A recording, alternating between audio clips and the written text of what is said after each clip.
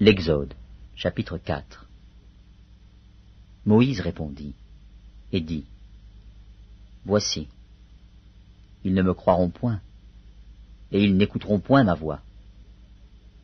Mais ils diront, L'Éternel ne t'est point apparu.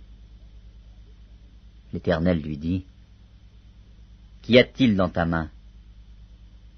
Il répondit, Une verge?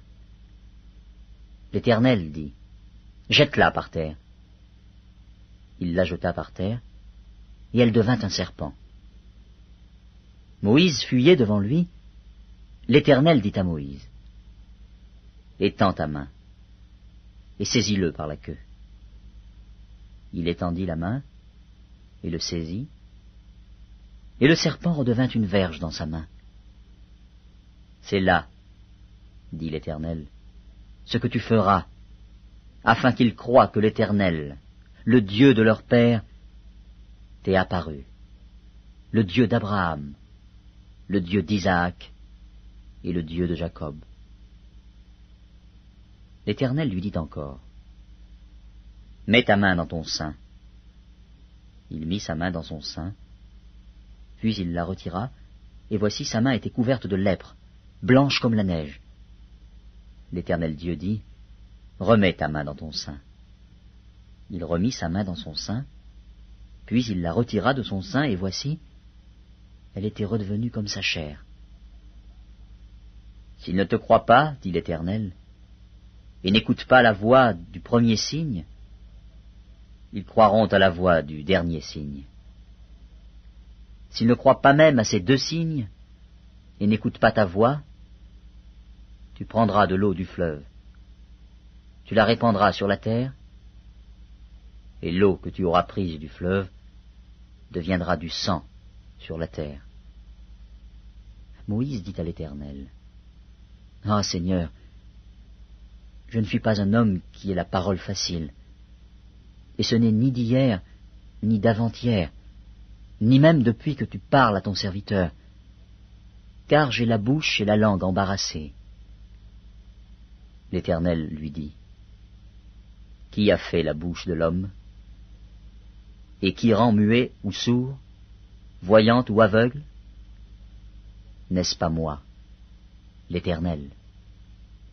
Va donc, je serai avec ta bouche, et je t'enseignerai ce que tu auras à dire. Moïse dit, Ah Seigneur, envoie qui tu voudras envoyer, alors la colère de l'Éternel s'enflamma contre Moïse, et il dit, N'y a-t-il pas ton frère Aaron, le Lévite? Je sais qu'il parlera facilement. Le voici lui-même qui vient au-devant de toi. Et quand il te verra, il se réjouira dans son cœur. Tu lui parleras, et tu mettras les paroles dans sa bouche.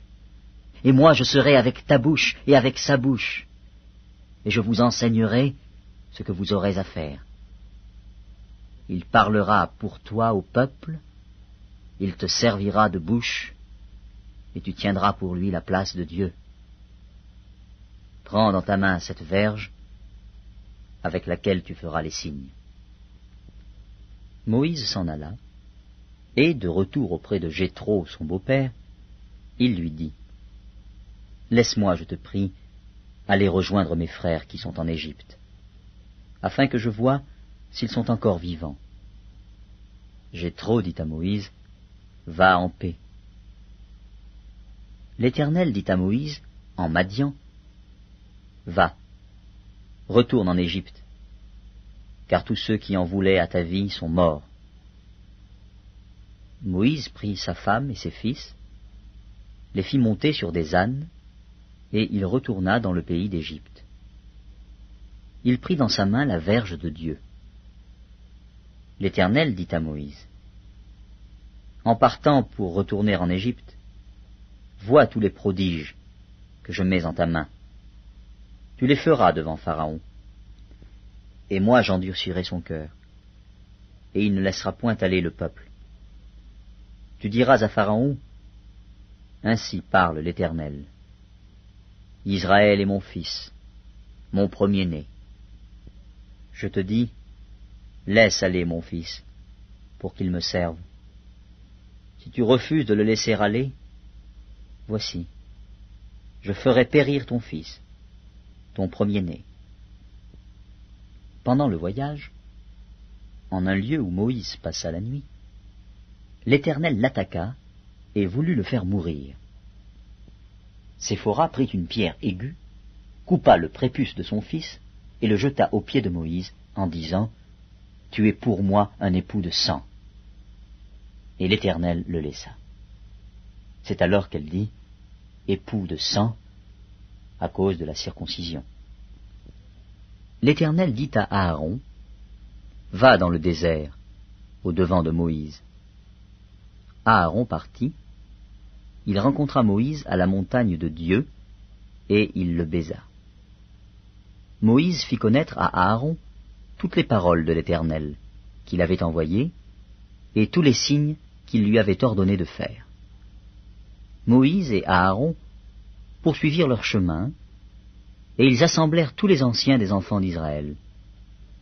Aaron rapporta toutes les paroles que l'Éternel avait dites à Moïse, et il exécuta les signes aux yeux du peuple.